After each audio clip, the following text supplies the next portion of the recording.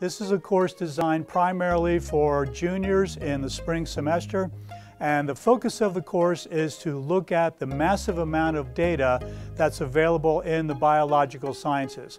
Primarily what we look at is quantitative biology and how science and mathematics and computing are used to study things like DNA and the genomes of different organisms. Hope to see you in the course.